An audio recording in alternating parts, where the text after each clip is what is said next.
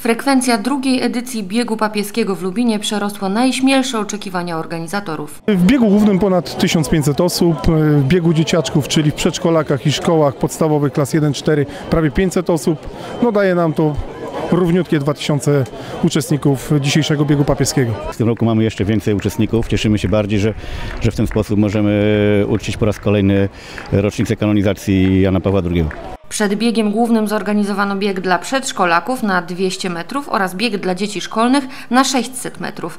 Wśród przedszkolaków najlepszy okazał się Kornel Pieszczyński, który jak zdradził, zastosował najprostszą technikę z możliwych. Jak najszybciej do mety.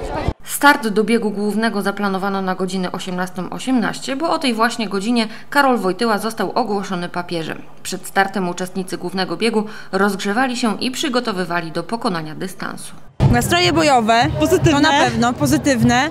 Przede wszystkim bardzo dobra zabawa. A przygotowanie, no takie każdego dnia. Najważniejsze, żeby dobyć... Biegacie na co dzień, jak to wygląda? Biegamy. Co drugi dzień, ale najważniejsze dzisiaj, żeby dobyć do mety i fajnie się bawić. Uczestnicy biegli z rynku przez ulicę Mieszka I, Kilińskiego, Kościuszki do Kaczyńskiego, dalej Wierzbową, Parkową, Niepodległości i do rynku, gdzie ustawiono metę. W sumie 5 km 400 metrów.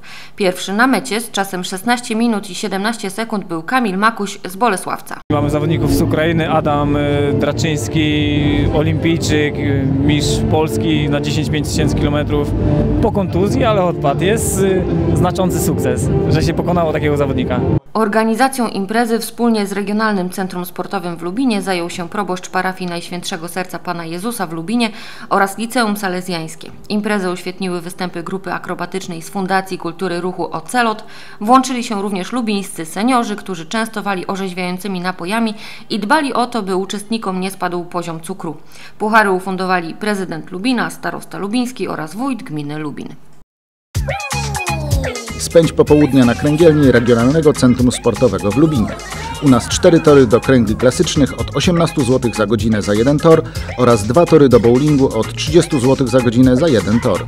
Rezerwacja telefoniczna 76 846 08 35 lub 076 846 08 28 wewnętrzny 12.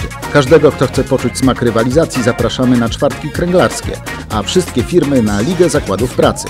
Więcej informacji na www.rcslubin.pl. Odwiedź nas na Facebooku.